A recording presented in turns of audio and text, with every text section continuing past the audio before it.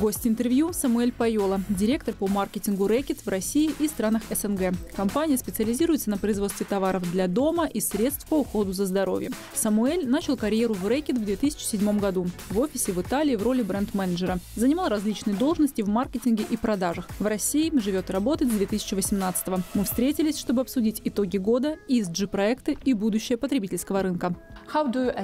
Как вы оцениваете рынок товаров бытовой химии в России, СНГ и глобальный по итогам этого года?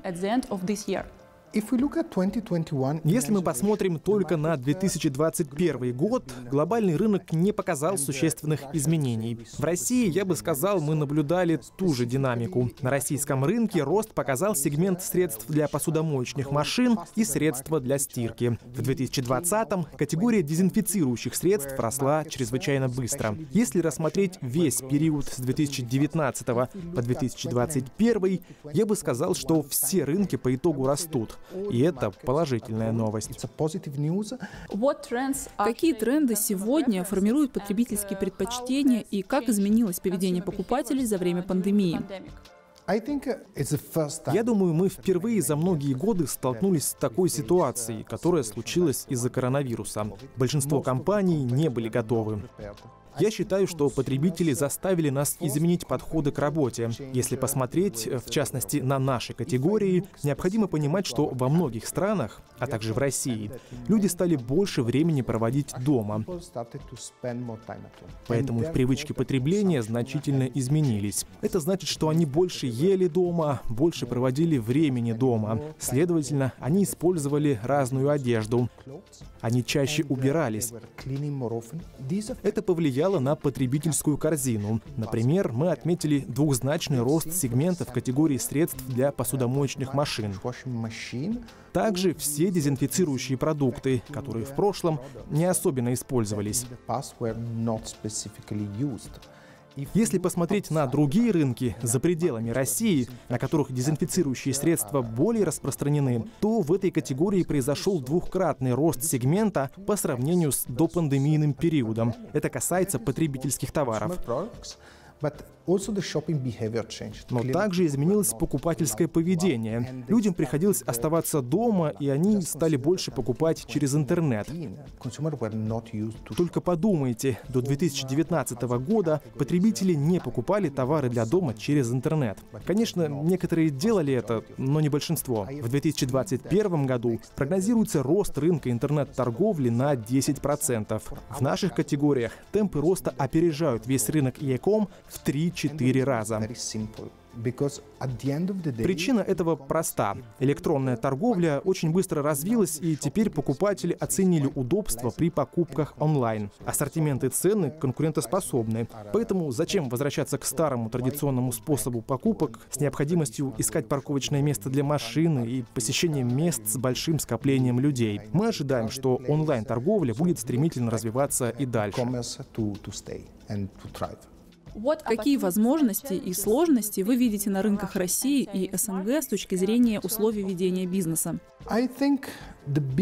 Я думаю, что самая большая возможность заключается в том, что покупатели стали выбирать разные категории товаров. Я имею в виду, что по сути люди начали приобретать товары, которые до вчерашнего дня не были в их корзине покупок.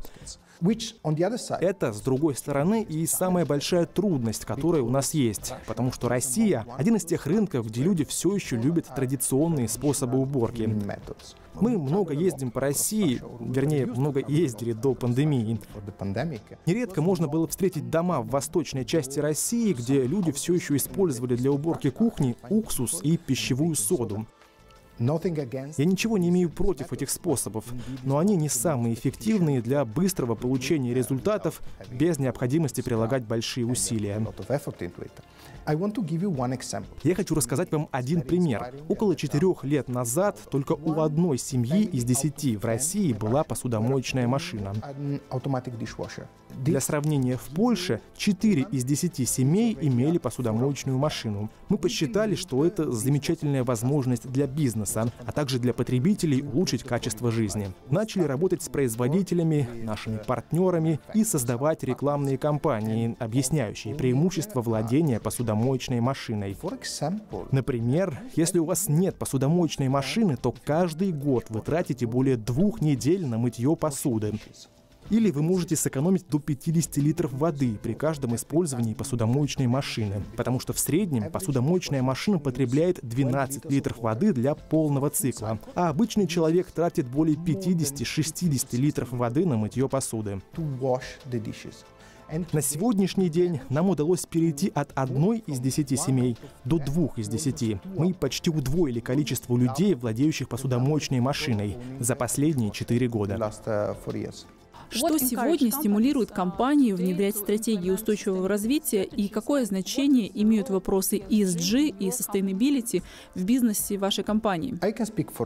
Могу ответить относительно нашей компании, которая существует более 200 лет. У нас свыше миллиарда потребителей по всему миру. В России каждая вторая семья пользуется нашей продукцией. Я считаю, что для нас это не только возможности, но и ответственность. Мы должны приносить пользу обществу. В конечном итоге общество становится более требовательным к тому, чтобы компании повышали ценность своей деятельности для всех, а не только для своих акционеров. Мы начали двигаться в сторону принятия стандартов ESG несколько лет назад. Мы работаем в основном по трем направлениям. Первое — это создание бренда с целью, что означает наличие долгосрочной цели, которая выходит за рамки непосредственно функциональной пользы, которую он приносит. Второе — построение более справедливого общества.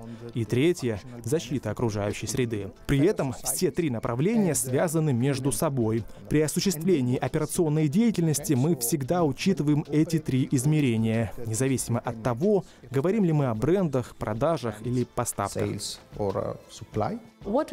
Какие зеленые проекты реализует ваша компания? Например, используете ли вы экологическую упаковку?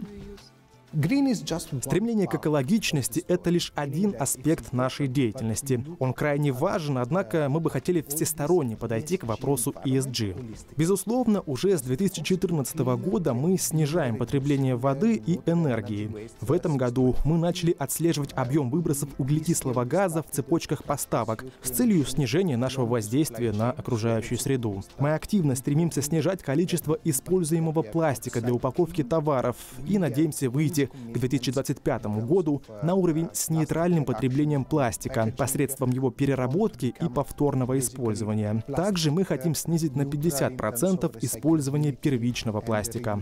К 2030 году планируем снизить наш уровень химических выбросов на 65%, но это лишь часть наших планов. Мы совершенствуем составы наших товаров, чтобы вещи могли служить людям дольше, что позволяет снизить количество выбрасываемой одежды. Вы знаете, что в России общая площадь полигонов, куда свозят мусор, по площади сравнима с территорией Швейцарии, и значительную его часть составляет одежда. Люди покупают одежду на один-два сезона, и когда она немного теряет цвет или форму, выкидывают ее и покупают новую. Если у вас есть продукт, который может помочь продлить жизненный цикл одежды, то это означает снижение уровня потребления, что положительно сказывается на состоянии окружающей среды.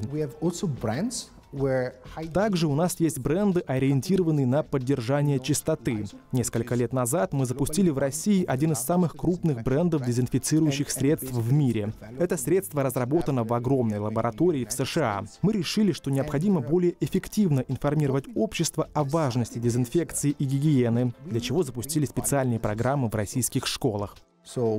Начали с Москвы, где наши выступления посетили 10 тысяч детей. Мы рассказывали о важных повседневных привычках, которые помогут им меньше болеть. Ведь все мы знаем, что соблюдение правил гигиены способствует снижению риска заражения. В октябре мы открыли первую учебную лабораторию в Центре для детей Кидзания в Москве, где дети могут узнать о профессии микробиолога, а также получить информацию о дезинфекционных практиках. Это партнерство заключено на три года, так что это не какая-то разовая показательная акция. Мы действительно верим в правильность этой инициативы и хотим расширять ее применение в будущем. Будущее потребительского рынка, электронная коммерция, ESG, что еще? И еще, как мне кажется, честность. Честность, прозрачность, предложение качественного продукта. Вот будущее рынка. Спасибо вам за интервью. Спасибо.